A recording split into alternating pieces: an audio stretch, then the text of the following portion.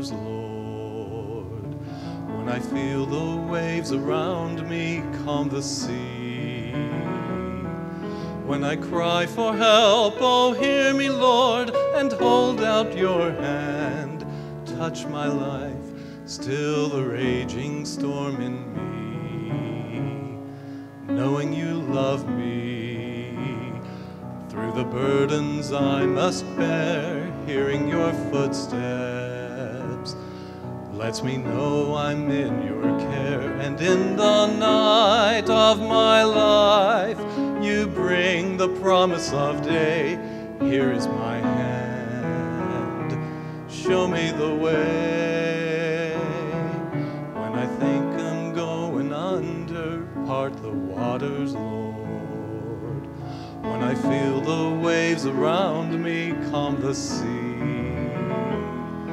When I cry for help, oh, hear me, Lord, and hold out your hand. Touch my life, still the raging storm in me.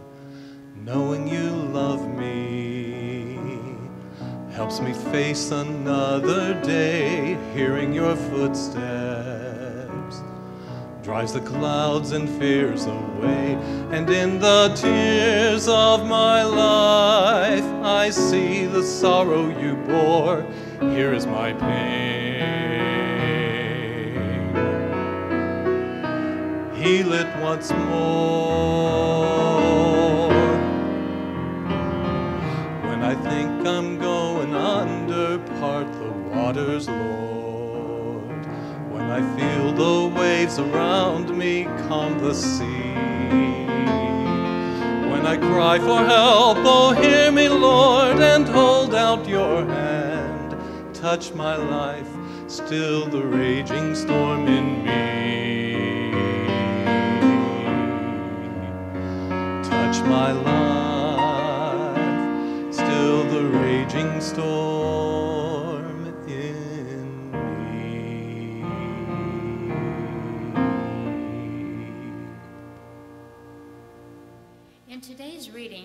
Gospel of Luke, Jesus has a difficult message for his disciples. I came to bring fire to the earth, and how I wish it were already kindled. I have a baptism with which to be baptized, and what stress I'm under until it's completed. Do you think that I have come to bring peace to the earth? No, I tell you, but rather division. From now on, five in one household will be divided three against two, and two against three.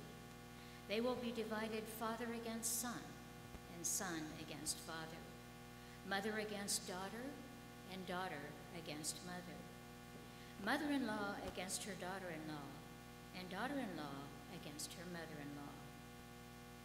He also said to the crowds, When you see a cloud rising in the west, you immediately say, It's going to rain. And so it happens. And when you see the south wind blowing, you say, There will be scorching heat. And it happens. You hypocrites. You know how to interpret the appearance of earth and sky. But why do you not know how to interpret the present time?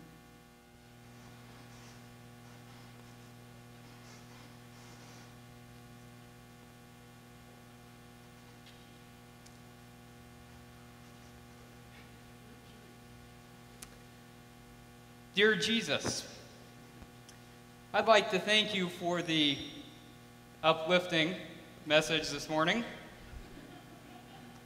It's always so nice to come to church and hear positive messages like you're bringing fire to the earth, that you've come to bring division instead of peace in this already divisive time, that you've come to bring division against households, father against son, son against father, mother against daughter, daughter against mother, mother in law against daughter in law. Although, Jesus, you didn't have to come to bring that division. That's kind of the natural state of things, you know. Not everyone's like Ruth and Naomi. And Jesus, thank you for the reminder that we are, in fact, hypocrites who have no idea what's going on around us. Your faith in us is truly encouraging. Thank you for this message so that those who are visiting our congregation for the first time, who may have been away from church for a while, have a nice welcoming message so that they can feel like they truly belong. To recap, thank you for raining fire, the deep division, and reminding us that we are blind to what's going on around us. Sincerely, Caleb.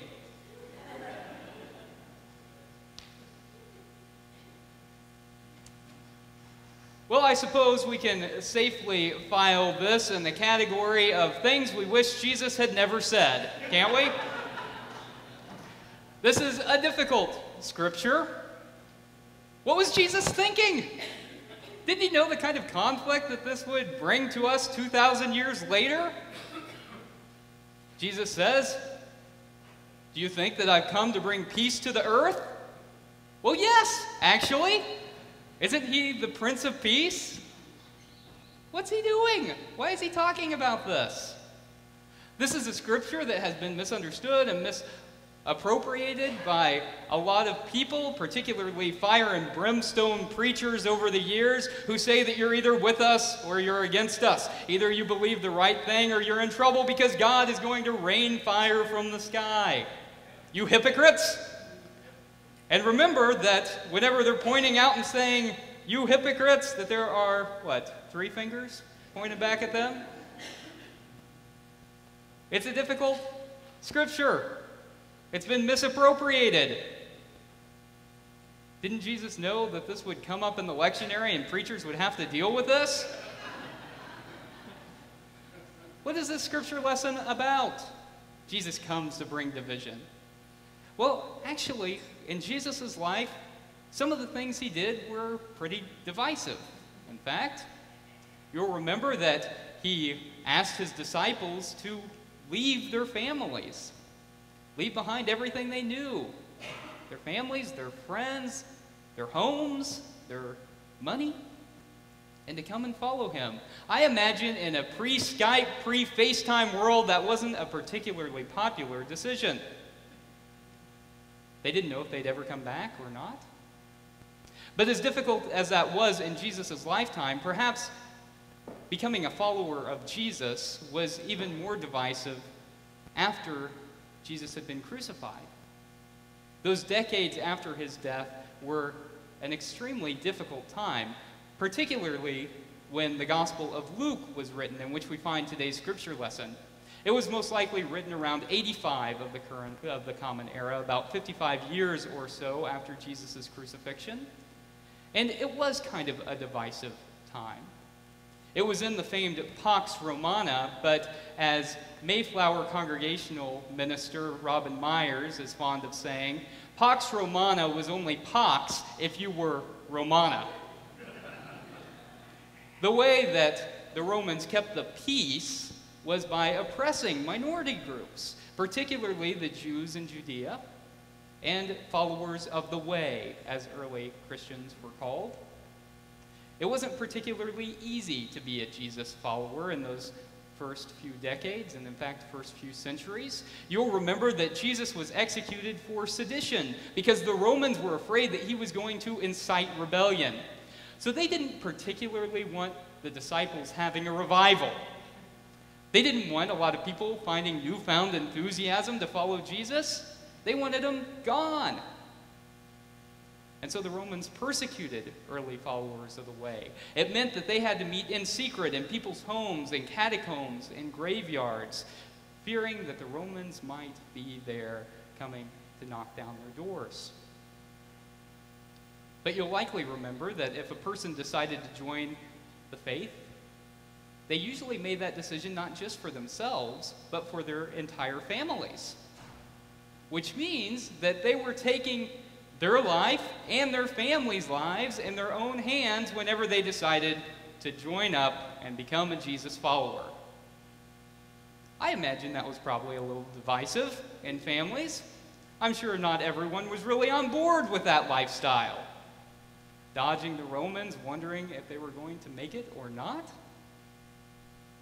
And the Romans persecuted people in the early church for the first three centuries or so. It wasn't until 313 when Constantine and Licinius issued the Edict of Milan, which granted toleration of religions in the Roman Empire, including but not limited to Christianity, that Christians could breathe a little easier. Constantine did not make Christianity the official religion of the Roman Empire, as is often thought. That didn't happen until decades later in 380. But it was tough to be a Christian in those first few centuries. And in some ways, when the empire finally embraced Christianity, it changed it. Christianity had been a minority religion that spoke the truth and love to power. But in some ways, when the empire embraced it, Christians became the powerful ones. They became the ones who made the decisions. And for a lot of places throughout time, it has been advantageous to be a Christian. There are certainly Christians all around the world who have to fear for their lives, but in the Western world, it has traditionally been advantageous to identify as a Christian. I mean, when was the last time you were afraid to come to church because you thought people might be scared of what you were doing here?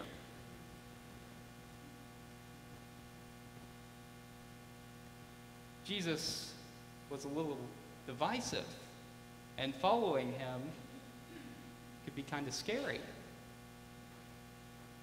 And so I think that this means that we have to hold true to those core values of our Christian faith. We have to hold true to mercy, to compassion, to love, and to name those places in our world where that's not happening. And friends, that can be a little divisive. What that means, quite simply, is that we can't be tolerant of intolerance. I've heard a lot of Christians say that, that that's one of the hardest things, is to be tolerant of intolerance. But, friends, that is not our call to be tolerant of intolerance. Our call is to name injustice where we see it, to speak the truth in love, still responding with mercy and compassion but speaking Jesus' message that can sometimes be a little divisive. We want a world that's filled with peace and harmony, that's absent of conflict. Of course, we want to live and let live, but that has its limits. When we see things that are incompatible with our beliefs, with our values, then we have to name those.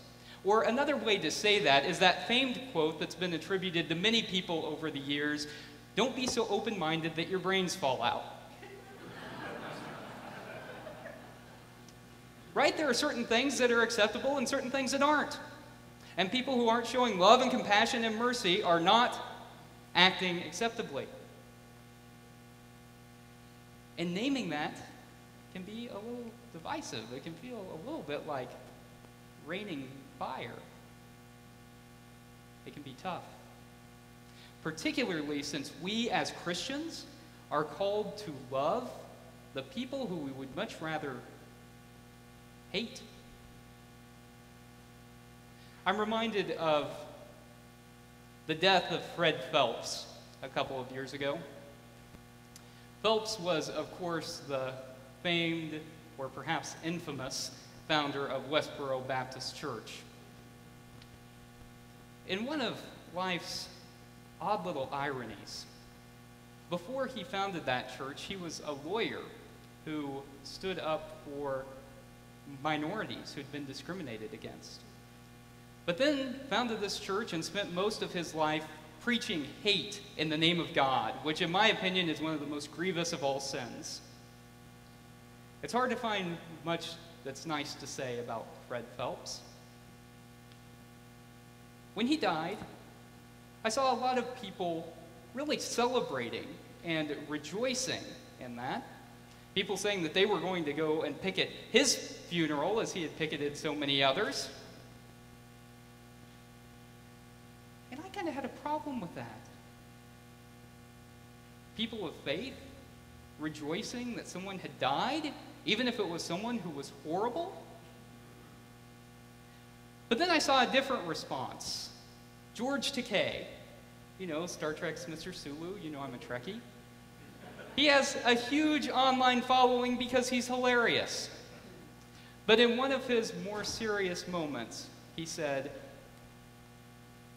Mr. Phelps, today I imagine you discovered that God, in fact, hates no one. Vulgar and despicable as he was, may Mr. Phelps find the peace in death that was clearly so elusive in his life.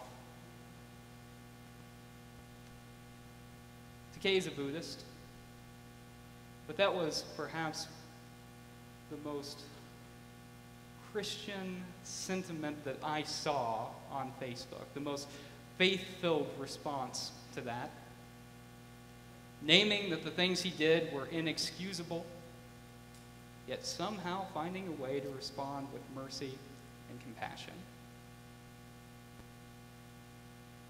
Friends, living like that is not easy. Some days I wonder how on earth Jesus thought we could do that. But it's what we're called to do nonetheless. It can be divisive, can feel like God's raining fire. And yet, what a wonderful call if we're able to live into it.